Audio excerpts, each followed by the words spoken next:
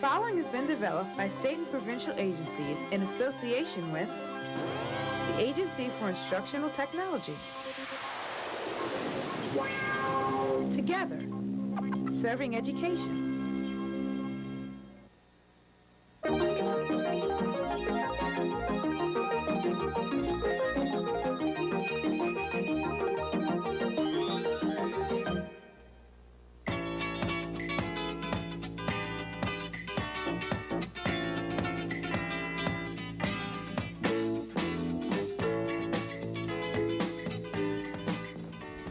Snack only at the shopping center. Love mom. P.S. You have mail. Finally, my entry form for the contest.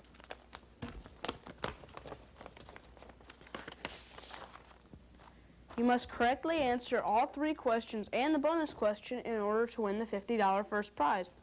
I'll get started right away so I'll have my entry form in early. Let me see. Sarah rushed home from school so she could get some of the pie her mom had baked the night before, but she found that her brother Bob had beat her to it. Mom had cut the pie into fifths. Bob was eating his second slice. If Sarah eats one slice, what is the total amount of pie the kids ate? Oh, that's easy. All I have to do is add the fractions together. The pie was cut into five pieces. That's fifths. So I'll just write out the numbers as fractions. Bob had two pieces. That's two fifths. And Sarah had one piece. That's one fifth. Two plus one is three, and five plus five is ten. So that's three tenths of the three tenths, but I thought the pie was cut into fifths. Uh-oh, there's something wrong. I better slow down. Now, if I had a pie, it might look like this.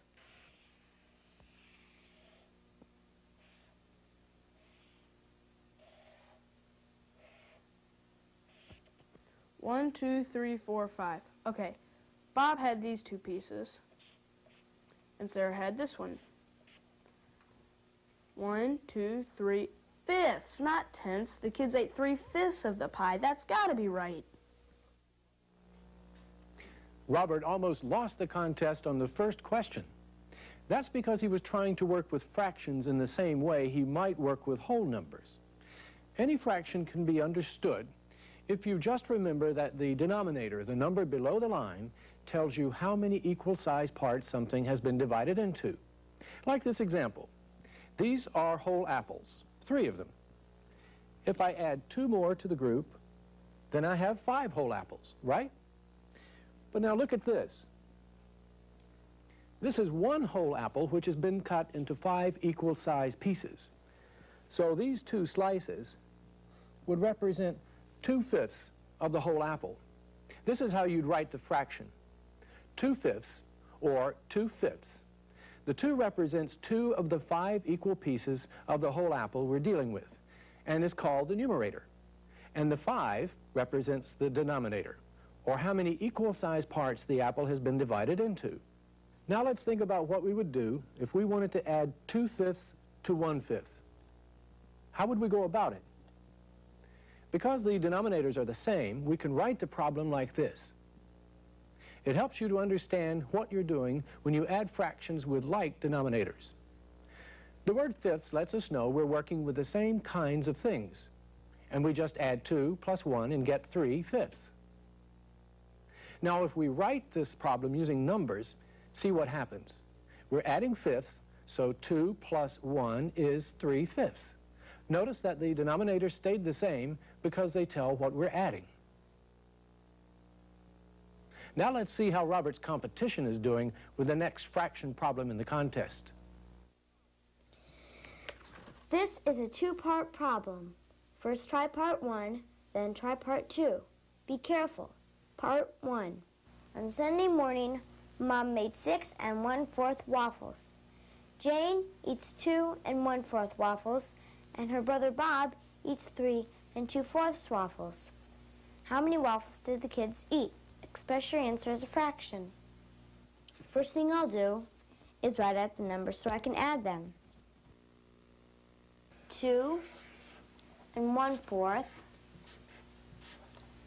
plus 3 and 2 fourths. I think I should add the fractions first. Or am I supposed to add the whole numbers first?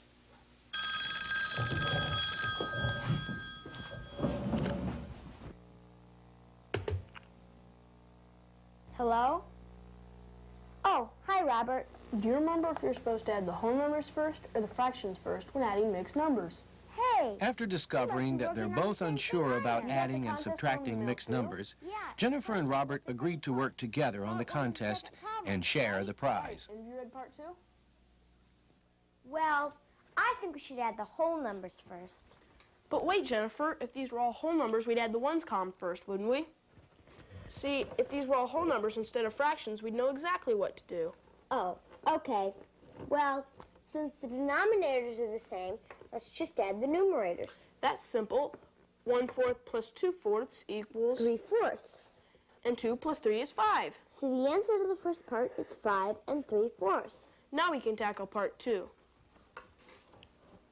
How many waffles were left after the kids ate? Show the steps you take in finding your answer. So all we have to do is. But wait, there's more. Don't forget you'll have to do some renaming to get the correct answer. And that's the tricky part.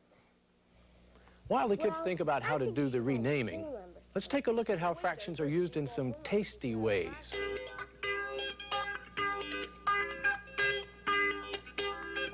When creating new products, fractions are very important. We're going to experiment with peanut butter in a chocolate chip cookie recipe. I have six ingredients.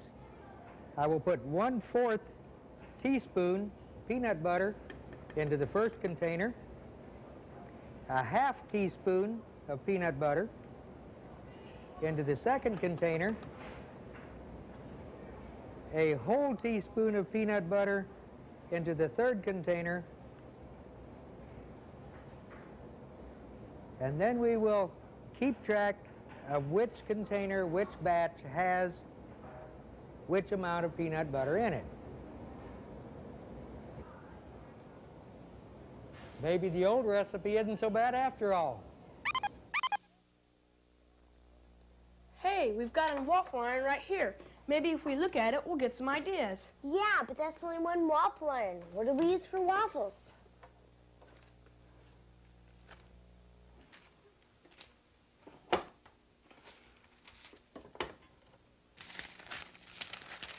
One paper waffle at your service. Hey, that's neat. Let me do one.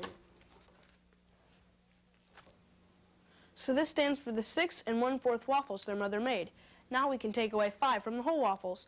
One, two, three, four, five. And the kids ate three-fourths of a waffle. I'll just cut out the one-fourth that wasn't eaten.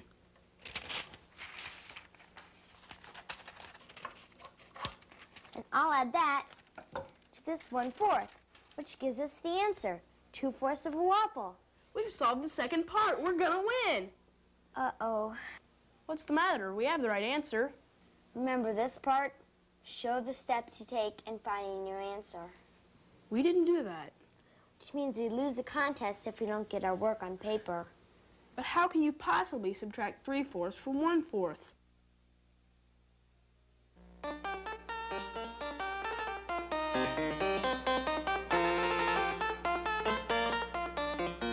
Once upon a time, there was a very rich merchant who lived next door to a very poor pie man.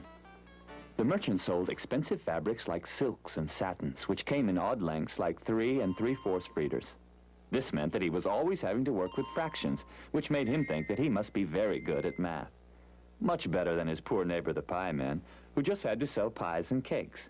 You don't need to know any math to do your job. But look what I have to do.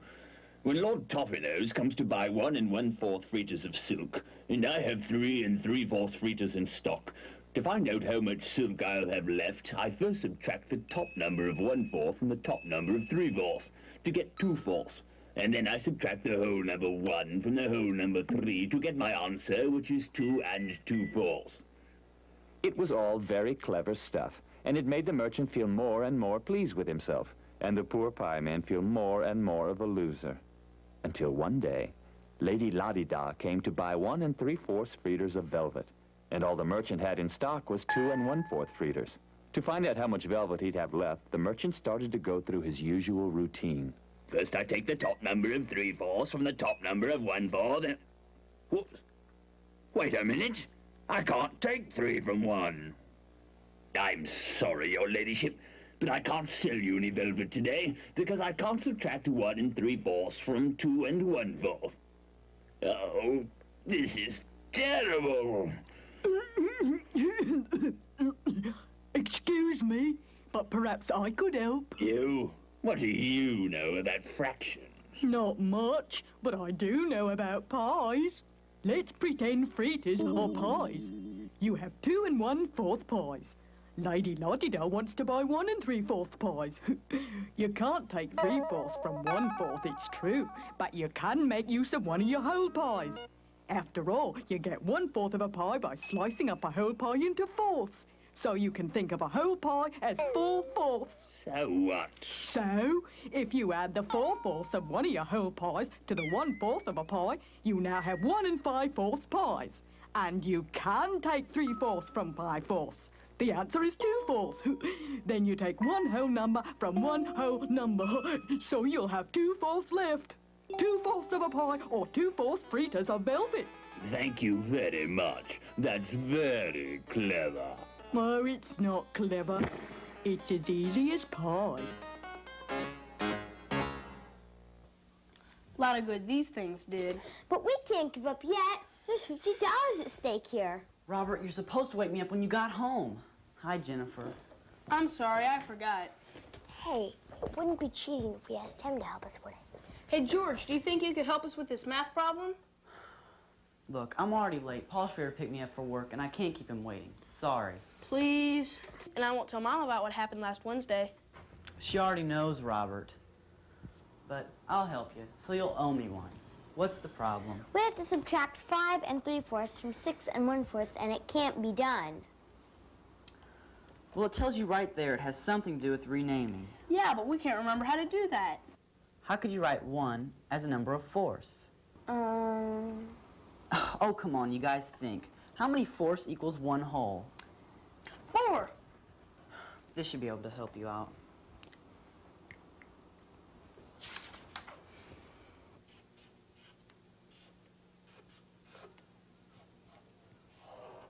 but how? 4 fourths and 1 whole are just two ways of saying the same thing. There's Paul, gotta go. But how's that going to help us with the subtraction? What you want to do is change the numerator of the fraction in a larger number. The numerator you're subtracting from has to be larger than the numerator of the other fraction. But how? You figured out. It's simple. Bye. Simple for him. Yeah. He said that the numerator of the fraction of the larger mixed number had to be made larger than the other numerator. What if... I got it. What if we add 4 fourths to 1 fourth? And that equals 5 fourths. And 5 fourths is larger than 3 fourths. So we can subtract. So now we have a numerator large enough to subtract 3 from. Why don't we rewrite the problem since we have a different fraction to work with? Yeah, that 4 fourths had to come from 6, which makes the renamed number 5 and 5 fourths. I think we're getting close. Yeah, instead of 6 and 1 fourth, we get 5 and 5 fourths. And we can do the subtraction.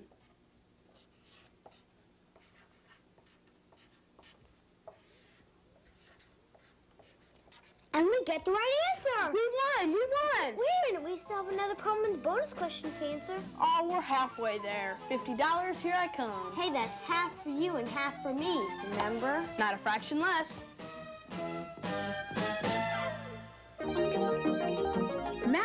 MathWorks is a component of the Mathematics for the 80s project and is supported in part by Exxon Education Foundation. This program was produced by the Illinois State Board of Education under the supervision of the Agency for Instructional Technology.